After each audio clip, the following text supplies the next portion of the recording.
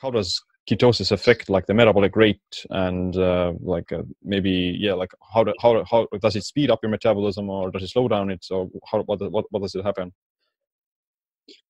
Well i mean some of the people are proposing that the ketogenic diet, diet is a you know there's a metabolic advantage to it. And early thoughts were that you're losing energy in the form of ketones in urine which you are but i think it's negligible uh, but what you're doing, you know, people would not argue that you're definitely burning more fat, but you're also eating more fat, right? Uh, but I think the net amount of calories that you're burning are essentially the same. There might be a slight advantage with a ketogenic diet because you are losing uh, a bit more energy, you know, maybe in the urine through you're losing beta hydroxybutyrate and, and acetoacetate in the urine, but even in someone in a heavy state of ketosis, it's only maybe 100 calories per day. I mean, it's still 100 calories.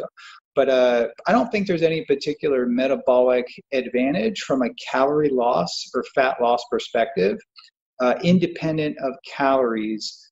You know, if you compare it to a low-fat diet, I know this goes against what a lot of the people in the community may argue, but I just I think uh, the benefit of a, of a low carb or ketogenic strategy is that it prevents cravings that would typically result in the ingestion of surplus calories.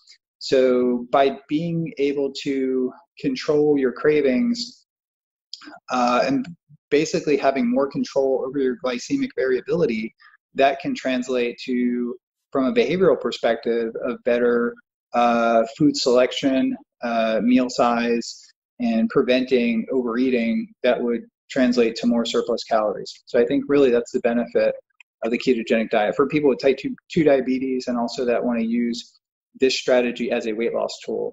And ketone supplementation may augment that by further stabilizing glycemic variability and also giving your brain ketones, keeping your brain happy.